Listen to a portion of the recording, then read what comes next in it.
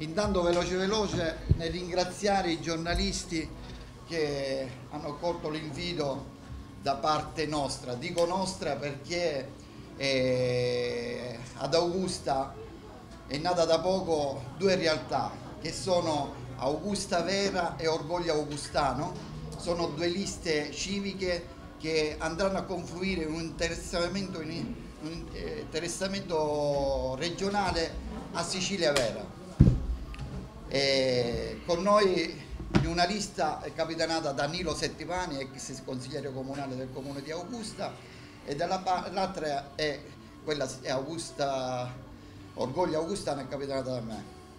E io sono il promotore della, della zona per quanto riguarda Sicilia Vera. Perché abbiamo scelto Cateno De Luca? La domanda si può rispondere da sola. Abbiamo scelto perché abbiamo voglia, ancora crediamo nella Sicilia, crediamo nella politica vera, nella politica quella combattente e pulita.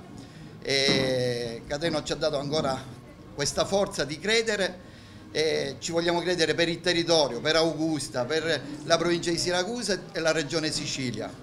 E Cateno De Luca conosce bene le problematiche del territorio perché non fa politica da oggi, nasce consigliere comunale a 18 anni, diventa sindaco di più città, sindaco della città metropolitana di, di Messina dove ha portato una città all'essere e ci sta dando il piacere di mettere a disposizione la propria politica e il proprio tempo per far sì di governare la Sicilia e soprattutto di riuscire a fare valere lo statuto siciliano e per i siciliani. Io vi ringrazio e ci tengo a dire anche che il, la politica eh, negli ultimi decenni è fatta di, di passaggi politici, nel senso che vent'anni fa, Presidente, si nasceva repubblicano e si finiva repubblicano, si nasceva giocatore della Juventus e si finiva juventino. Io negli ultimi anni ho cercato di approcciarmi di quella che è la politica dei, dei combattenti, avevo prima aderito ai gilet arancioni, ma visto che era un progetto che non, non andava da nessun posto, alle comunali eh, ho aderito a una lista che faceva a capo a più aree, aree UDC, Forza Italia, centristi, riformisti, abbiamo fatto una bella eh, lista, una bella, eh, un bel risultato, abbiamo aderito a noi per Augusta, abbiamo aderito noi per Augusta e ci tengo a dirlo, eh, abbiamo deciso di appoggiare questa amministrazione che viene anche da un'area mista, eh, di cui ringrazio il sindaco perché sta facendo bene per questa città. Questo non vuol dire che noi prendendo quest'area ci siamo allontanati da un patto eh, federale con noi per Augusta o non dialoghiamo più con il sindaco le comunali sono fra quattro anni e ci vedranno, ci vedranno pronti. E lascio la parola a Cateno e vi ringrazio a tutti.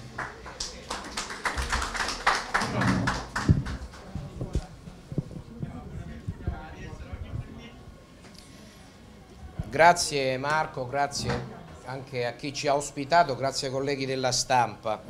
Eh, noi abbiamo iniziato questa crociata eh, per liberare la Sicilia dalla banda Bassotti politica. Andiamo subito al tema che è quello che ci riguarda. Io ho amministrato più comuni, eh, faccio politica da, da molto tempo, ho visto con grande ammirazione questi ragazzi che mi hanno consegnato qui una busta che è la bustarella del loro destino, noi studenti, giusto l'associazione, eh, con una serie di osservazioni e di valutazioni su quello che per esempio è il mondo della scuola.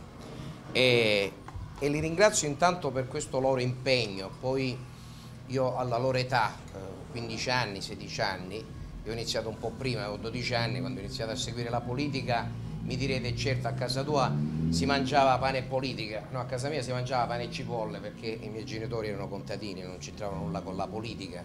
E mio padre è anche un modesto muratore, questo l'ho voluto precisare perché dobbiamo sfadare il mito che eh, quelle che sono poi delle eh, condizioni familiari condizionano poi le generazioni successive. In genere quelle si chiamano baronie, chi nasce magari professore universitario si crea le condizioni di regalare a figlio quando lo battezzano già la, la, la, la uh, cattedra universitaria. Quelle sono patologie, non riguardano invece altri tipi di evoluzione, come è stato il mio caso. Eh, porta avanti un'azione un, molto semplice, quella di essere amministratori e quella della politica del fare. Se sono stato sindaco finora di tre comuni diversi ci sarà un motivo, se l'ho fatto senza l'appoggio dei, dei, partiti ci sarà un motivo.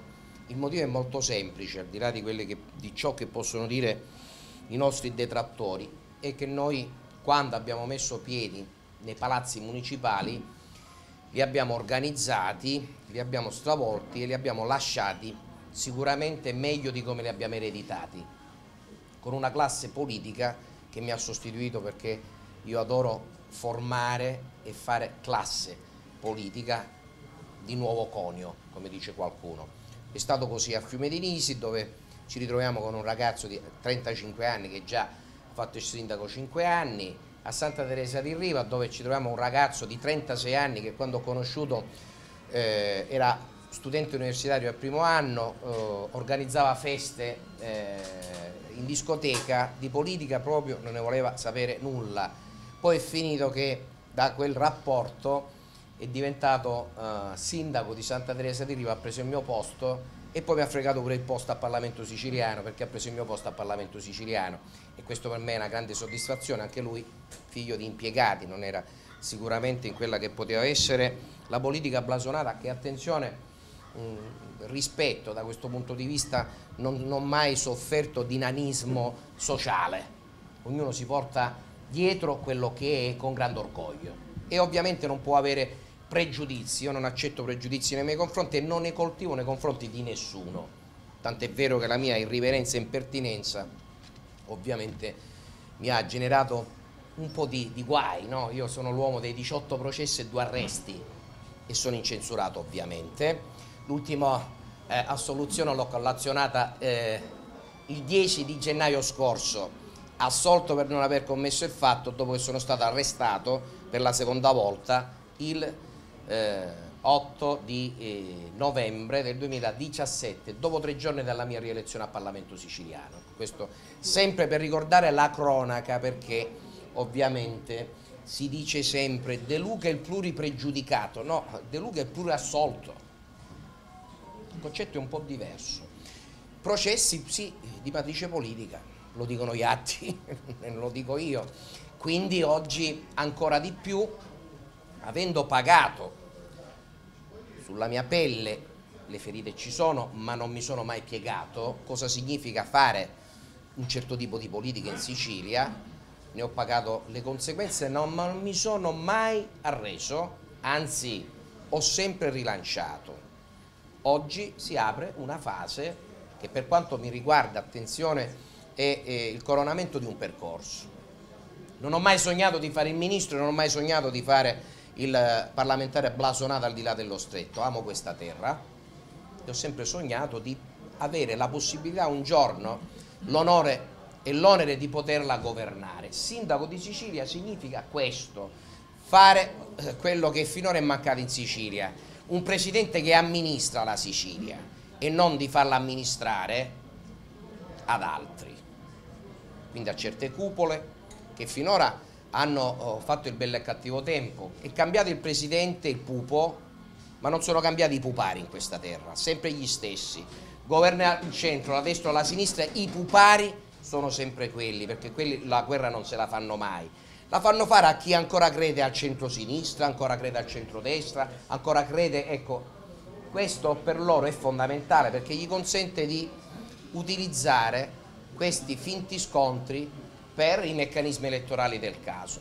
Noi queste cose le conosciamo bene, anche perché abbiamo la nostra esperienza, siamo stati, abbiamo militato in partiti, non è che non abbiamo fatto. Io ho fondato Sicilia Vera nel 2007 e lì poi sono rimasto ancorato per arrivare a questo obiettivo. Si sa che già mi hanno offerto di tutto e si sa anche che io ho rifiutato. Questo è un progetto che arriverà fino in fondo perché questa terra è, è ormai eccessivamente segnata da personaggi che si sono lanciati e poi hanno mangiato la mela del peccato, la poltrona, l'assessorato, la vicepresidenza della regione, tante cose hanno offerto, non mi interessano un campo di politica, campo di mio, perché la prima cosa che ho cercato di fare è di non essere schiavo della politica, quindi mi sono potuto permettere di dimettermi due volte dal Parlamento siciliano, sono stato eletto tre volte con le mie forze, mi sono potuto permettere di governare tre comunità diverse e di rilanciare perché dove siamo stati abbiamo lasciato risultati straordinari. È finita la mia gavetta sul territorio, ora è il momento di puntare a liberare questa terra dalla banda bassotti politica. Questo è il tema. E allora noi oggi stiamo facendo un giro, vedete abbiamo acceso la nostra lanterna. Questa lanterna io la utilizzo, è una lanterna magica.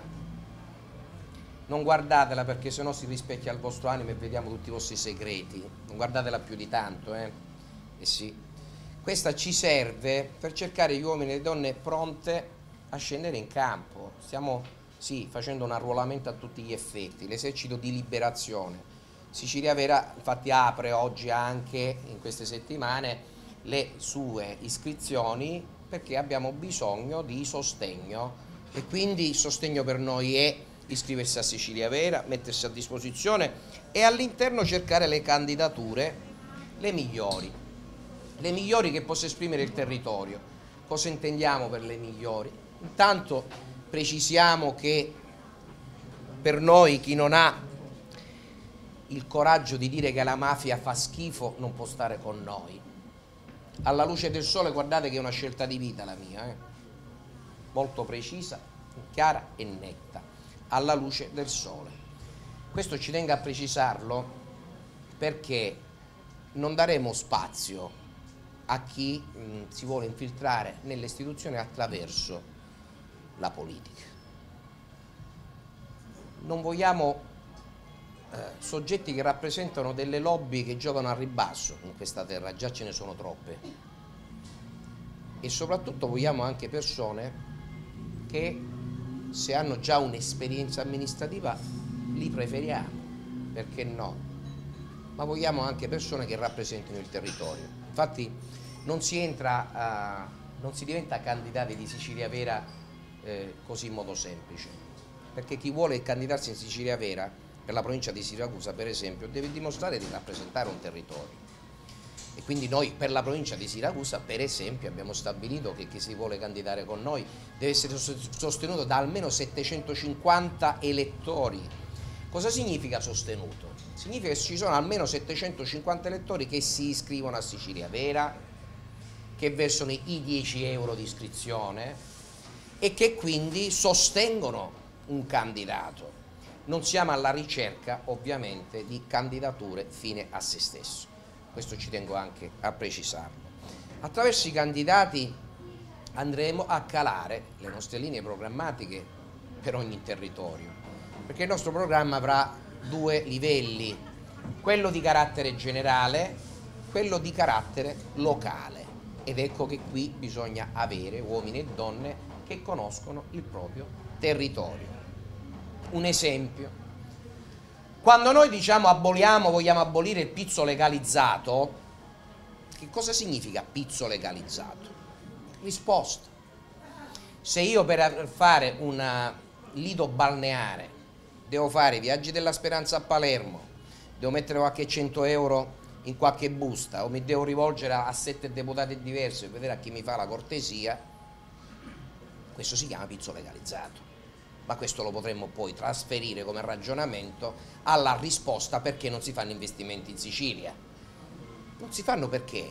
Perché la burocrazia è a servizio della banda Bassotti e quindi bisogna pagare il pizzo, o in posti di lavoro, o in soldi, o in altro tipo di cose.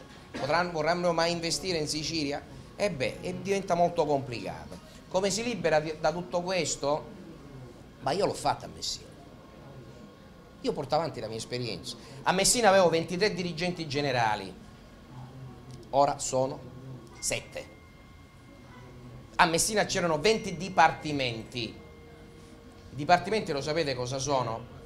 io li ho chiamati, mi scusino le signore, eh, erano 20 pisciatoi, perché non è altro che una delimitazione entro la quale ogni dirigente ha il suo comando. Li abbiamo accorpati ormai a sei. Tutto questo cosa si ho fatto questo esempio perché? Perché la burocrazia si governa, non si subisce. Le norme che stabiliscono il rapporto equilibrato tra politica e burocrazia esistono. Bisogna avere però la competenza e la libertà e la capacità di applicarle. Sono il primo sindaco che ha licenziato i dirigenti in Italia, sì, ma non è che me ne vanto, anzi è tristezza pura, perché significa che chi ha svolto questi ruoli non li ha saputi svolgere, perché poi è facile dire eh, il dirigente, il dirigente cosa? Il dirigente gli indirizzi li stabilisce la giunta, il funzionamento degli uffici e dei servizi è di competenza esclusiva del sindaco e della giunta, punto. Il resto è noia, sono scuse. Ecco come funziona tanto per dare una battuta. Quindi primo esempio di un elemento programmatico, bene, decentrare al territorio e eh, ovviamente ridurre al minimo, ridurre al minimo possibile la gestione, perché la gestione deve essere del territorio. Io sono uno sturziano convinto, infatti una de definizione di Sicilia Vera è Lega delle Municipalità, attenzione a questo termine, perché solo così la Sicilia si può riappropriare della propria impronta di Stato nello Stato. Se invece andiamo a gestire la eh, concessione demaniale piuttosto che altre minuzie importanti, ma rispetto al nostro statuto e a quella che era onestamente la nostra missione, mi sembra bassa cucina, e allora è logico che questa terra non volerà mai alto, questo non ci sono discussioni. Un esempio più da territorio.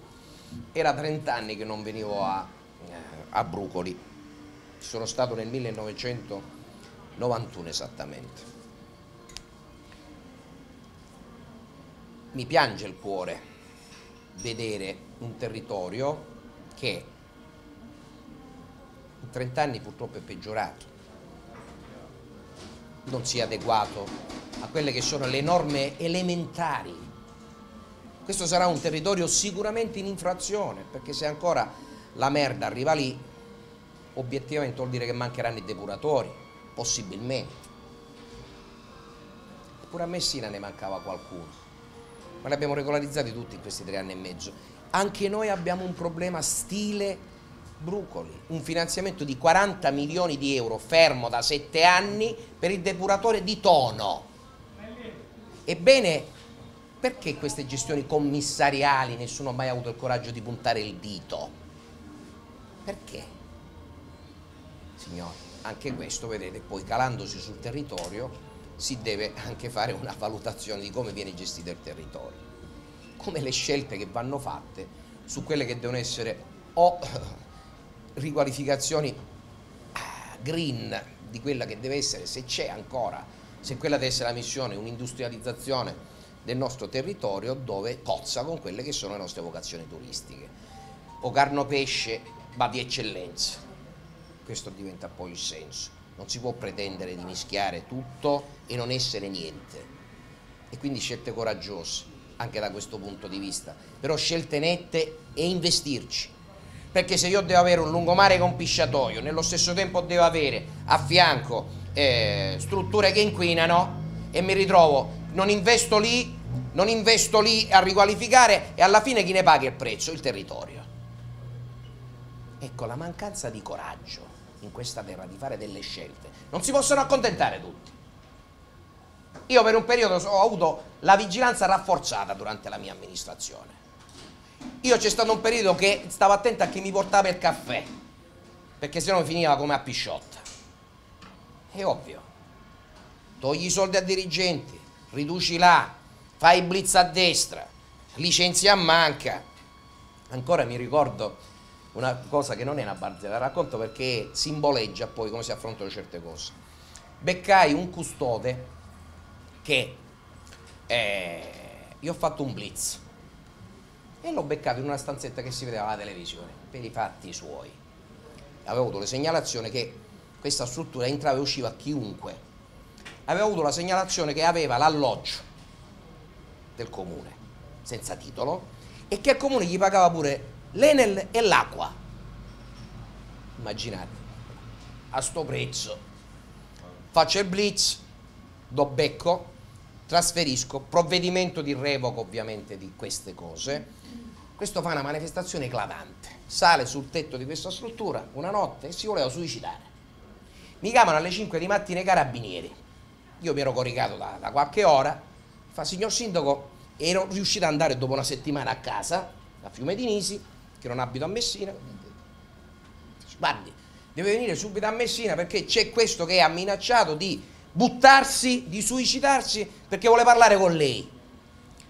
Ci siccome maresciallo, se non viene subito qua, si butta. Ah sì, gli dica da parte mia di buttarsi.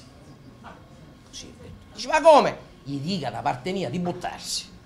Tanto le dico una cosa, avendo conosciuto il personaggio, questo il, ha coraggio di buttarsi, non ce l'ha. E così è finita.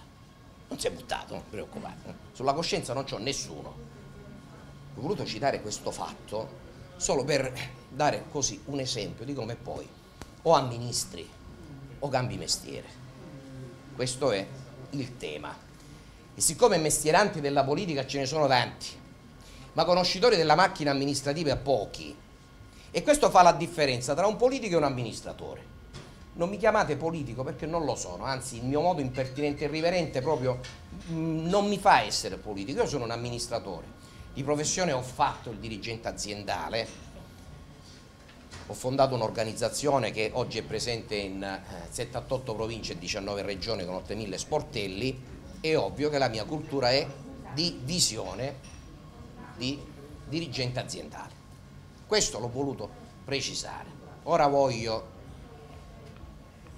sottopormi alle domande della stampa, perché giustamente dice ma chi sto che viene ne fa un comizio? No, assolutamente, sono venuto qua anche per dare la possibilità alla stampa di farmi tutte le domande che vogliono. Quindi ho voluto portare il mio saluto e quindi anche da questo punto di vista avere la possibilità di eh, ringraziare gli organizzatori e Marco. Sono qui ora per dare la possibilità ai colleghi della stampa di fare tutte le domande che ritengono e ovviamente non mi sottrarrò a nessun tipo di domanda. Grazie intanto a tutti perché non mi aspettavo questa presenza, non era, non era in conto, eh, non era in conto, noi non, ancora siamo così per passaggi esplorativi e perché stiamo però individuando la nostra squadra che scenderà in campo. Tutto vostro.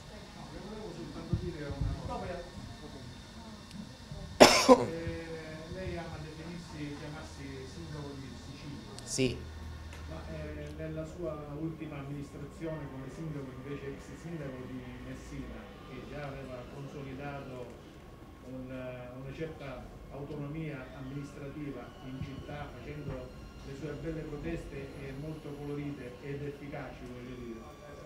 Adesso come presidenza della regione la sua candidatura la vede una cosa in punto interrogativo oppure una cosa certa? Lascia una cosa certa che è l'ex sindaco di Messina per la presidenza della regione? Risposta chiara. Io mi sono dimesso dal Parlamento siciliano per fare il sindaco di Messina senza avere un consigliere comunale.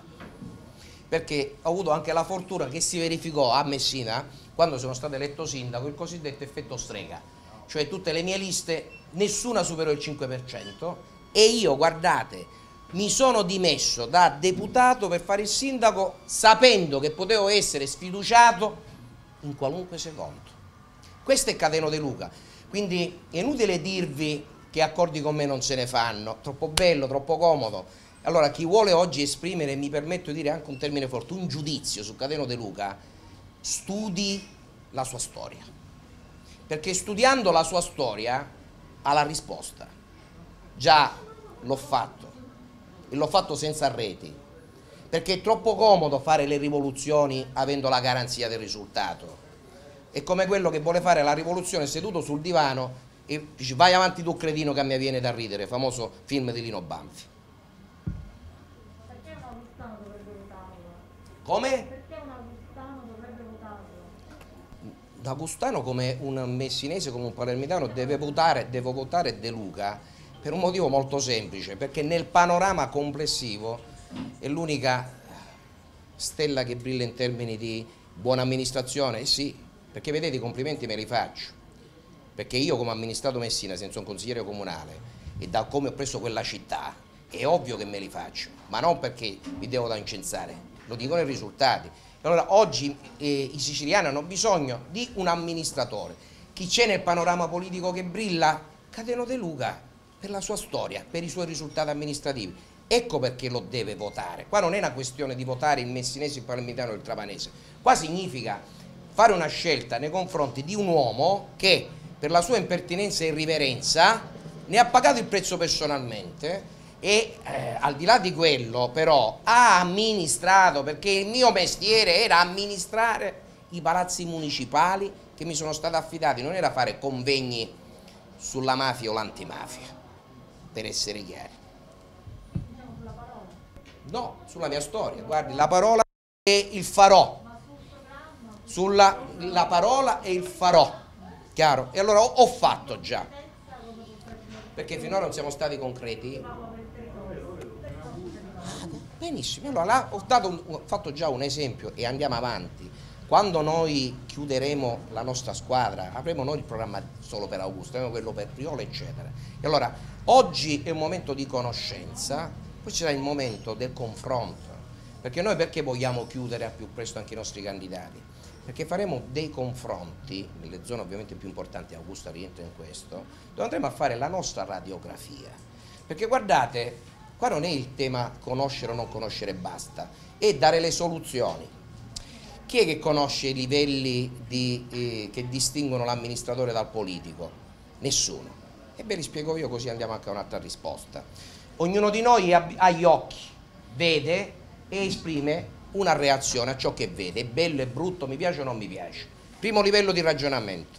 Secondo livello di ragionamento, ti chiedo, ma senti, hai visto quella cosa, è brutta? mi spieghi perché è brutta? E tu mi dici, è brutta per questo motivo, cioè la capacità di motivare un ragionamento. Terza cosa, terzo livello, eh, magari l'espressione negativa non mi piace quella cosa, e allora io dico scusami, ma tu c'hai un'alternativa?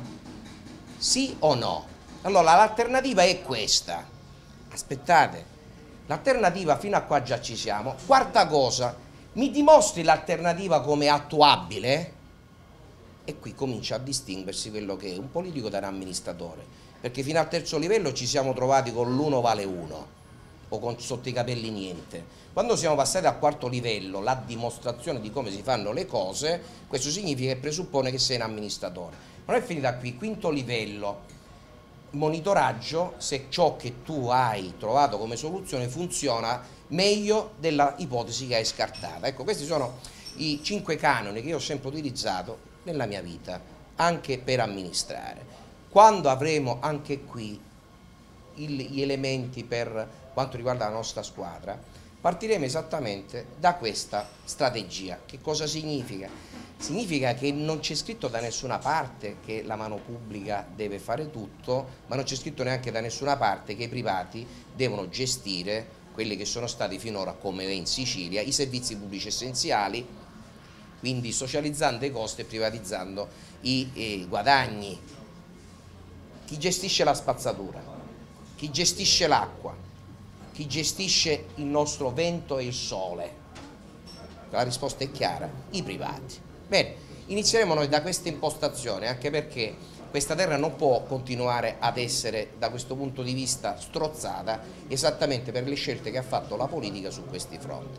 Ci troveremo nel dettaglio punto per punto e quindi a discutere anche di come l'industrializzazione oggi debba avere quella spinta di riconversione, come una struttura come una parte del territorio come Brucoli non può continuare ad essere lasciato in quelle condizioni e ovviamente se ancora ci ritroviamo in queste condizioni vorrei capire la vera politica dove è stata. Mi sembra di capire che quindi ancora i candidati per le elezioni regionali a supporto della sua candidatura non sono stati scelti. Il 9 di aprile, ragazzi, scusatemi, il 9 di aprile, vi aggiungo, ci sarà la convention alle ciminiere. Il 50% già dei candidati sarà presentato alle ciminiere di Catania, sabato ore 9.30. È ovvio che eh, è pertinente la domanda, altrettanto la risposta. Qualcuno mi rimprovera che sono partito troppo presto. Lei giustamente dice, ma già il partito non c'ha la squadra. Sta arrivando, sta arrivando. Quindi in questo momento nomi non ne abbiamo. No.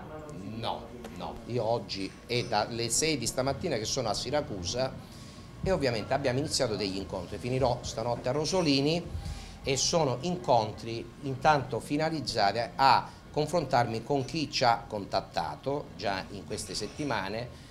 C'è stato anche già un primo giro che ha fatto l'onorevole Danilo Lo Giudice, che è responsabile organizzativo di Sicilia Vera, è stata a Siracusa la settimana scorsa e ovviamente ora stiamo andando alla selezione. Trasformalizzo un po' più la domanda. Augusta avrà un suo candidato? Guardate, eh, oggi non vi posso dire sì. Quello che oggi ho riscontrato è che c'è una grande disponibilità e ovviamente oggi inizia un confronto anche con gli amici di Augusta e questo lo voglio sottolineare. Ci sono potenzialmente le condizioni perché Augusta fa quasi 40.000 abitanti in quello che è lo scacchiere anche di un ragionamento di popolazione eh, è una realtà che può esprimere un candidato. Non parliamo di Fiume di Nissi, il mio comune di mille abitanti, ovviamente. Quindi le condizioni ci sono.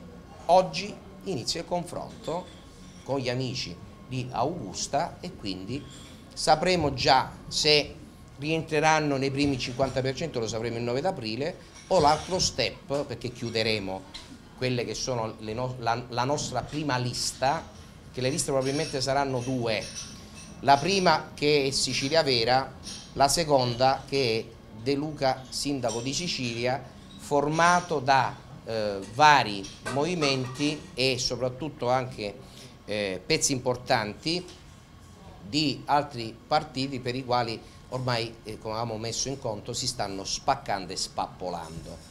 Non candideremo deputati uscenti, questo sappiatelo, in nessuna provincia, non solo qua, in nessuna provincia, è una scelta di campo per rinnovare la classe dirigente.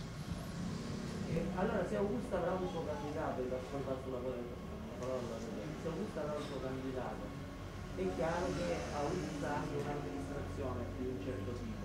Questo candidato eh, e questa amministrazione inter- interagiranno oppure è un candidato che dovrà fare una strada completamente per fatti suoi? Guardate, io non mi sono assolutamente occupato e preoccupato di come si chiama il sindaco e di che colore è, dove vado, perché non mi interessa, per un motivo molto semplice. Se è un sindaco... No, no, no, per- sto parlando intanto del sindaco. Sto parlando, sì, ma io sto parlando io ora. E qual è il mio metodo? Io non mi pongo il problema chi è e di che colore è. Io mi pongo il problema se questo progetto può sposarlo o non può sposarlo e se non può sposarlo non è che io posso da questo punto di vista dirgli qualcosa perché esiste già, significa che qualcuno lo ha eletto, significa che qualcuno l'avrà proposto. Quindi da questo punto di vista non ci può essere eh, un problema collegato a qualcosa che già esiste prima che noi ci lanciamo. Poi ci ritroviamo con realtà che o sono all'opposizione o sostengono un'amministrazione, quindi non essendo un problema che mi riguarda in questo momento, non mi pongo neanche la questione se viene candidato qualcuno che rappresenta, tra virgolette, per questioni locali, quali, alle quali io non sono interessato. eh. Io voglio precisare una cosa, noi non ci stiamo occupando di amministrative da nessuna parte, tranne a Fiume di Nissi, a Santa Teresa di Riva e a Messina. Ci sarà un motivo? Sì, perché il nostro progetto è, intanto sono le regionali. Dopo inizierà la fase di costruzione, di formazione del territorio e quindi ci occuperemo dopo, nella fase successiva. Le nostre tappe sono Messina, Fiume di Nisi, Santa Teresa, amministrative. Regionali a 6 di novembre, perché il 6 di novembre dovrebbero essere elezioni, politiche col movimento meridionalista che si sta mettendo in campo. Queste sono le nostre tappe, quindi poi si va sul territorio. Infatti tanti amici che ci hanno chiesto di andare in questo momento in comuni dove si vota, gli ho detto no. Tanti nostri sostenitori eh, non hanno l'autorizzazione a spendere il nome di Sicilia Vera durante le amministrative perché Sicilia Vera non si occupa delle amministrative in questo momento. È una fase successiva questa qui, quindi vale anche qui. Io infatti non ho chiesto quando ci c'è stato il contatto se rappresentava maggioranza o opposizione, a me interessa che siano persone che hanno la libertà di potersi esprimere, perché qua le mafie sono tante, non è solo la lupara, le mafie in Sicilia sono poi gli avvertimenti, sono le intimidazioni della politica e di anche chi governa certi processi. Quindi io mi rendo conto che questa non è una scelta semplice. Quindi già chi è che ha il coraggio di metterci la faccia, onestamente, è il primo elemento che cominciamo a valutare. E poi abbiamo tutto il resto, e lo abbiamo detto. Da molte tematiche che però porta avanti lei sono, sembrano uguali un po' a quelle di, della Lega di Salvini. Avete e quale, scusa? Cos'è, eh, cos'è che mi accomuna? La tematica di rottura delle, eh, delle lobby, la tematica del, del linguaggio. Ma perché ma Salvini vuole rompere le lobby? Non mi risulta veramente. Per Salvini è un po' è lobby, è lobby lui. Scusatemi, ma forse. Quindi con la Lega non, non avete punti di contatto? Ma guardi, Salvini quando io sono stato arrestato ha detto che grazie alla sua lungimiranza De Luca, che era quindi delinquente seriale, non era entrato nella lista della Lega, cosa non vera. Tant'è vero che poi è stato smentito dai fatti. Gli raccontò questa cosa, eh, quella cosa inutile di Attaquil di Catania. Quando sono stato arrestato, dopo un'ora esce il buon Salvini in più conferenze stampa e dice meno male che io avevo detto no alla candidatura di Catone De Luca nella nostra lista regionale. Dopodiché, che io sono il sogno proibito di Salvini lo sa tutto il mondo. Chiaro? Ma ho detto a Buon Salvini, dopo che è uscita anche la sentenza a, in riferimento a questa vicenda, che se vuole avere a che fare con me, prima deve dimostrare di essere un uomo, chiedermi scusa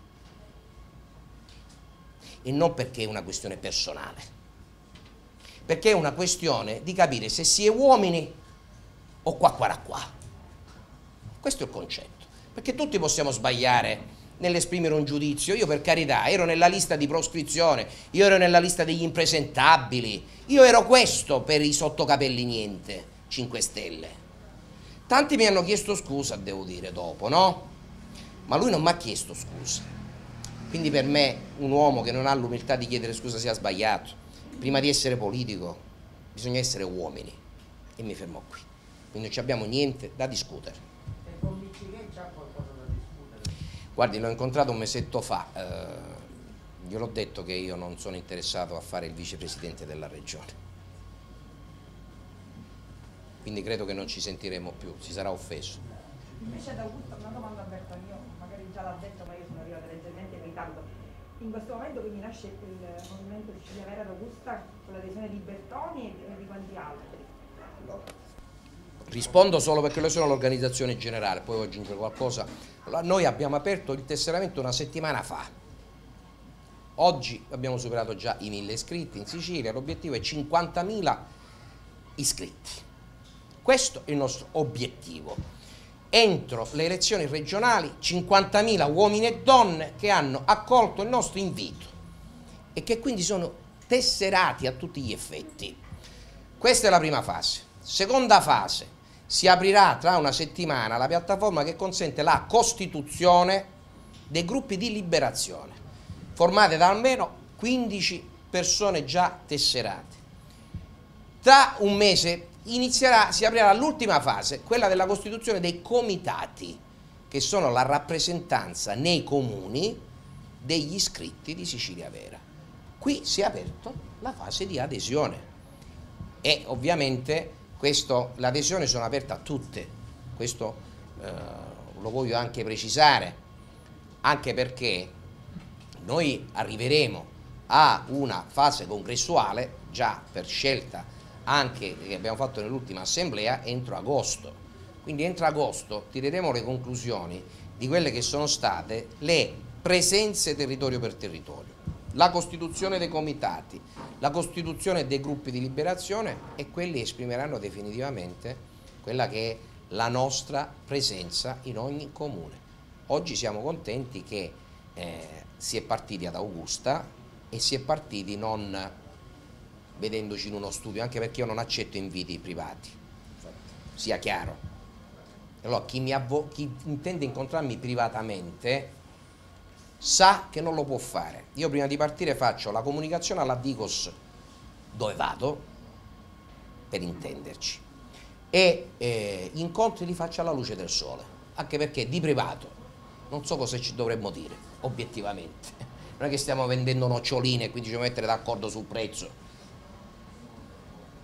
Qua non stiamo vendendo niente. Quindi questo ci tengo a precisarlo perché è ovvio che sono arrivate le richieste per incontrarci qua piuttosto che là.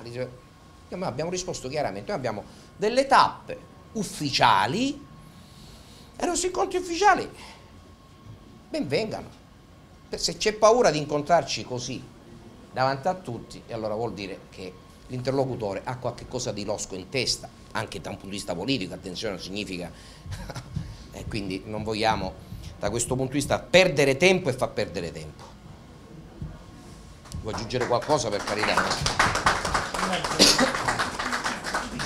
Io voglio solo aggiungere che eh, negli ultimi giorni stiamo incassando eh, la, la vicinanza di diversi candidati alle ultime elezioni, di ex consiglieri comunali che vogliono eh, fare questo percorso noi con questa avventura e questa cosa mi sta emozionando perché stiamo crescendo in una maniera uh, propositata grazie anche al modo di fare politica di Cateno De Luca che lo ringrazio ufficialmente che è venuto ad Augusta, ringrazio eh, tutti voi e... cosa? Scusa. Assolutamente e, e niente siamo aperti a tutti, piano piano stiamo lavorando come ho detto, vi aspettiamo tutti il 9 aprile a Catania a questa convention per essere tutti insieme, per fare vedere finalmente che la Sicilia del popolo, la Sicilia degli uomini onesti, quelli veri, è tutta insieme. Grazie a tutti.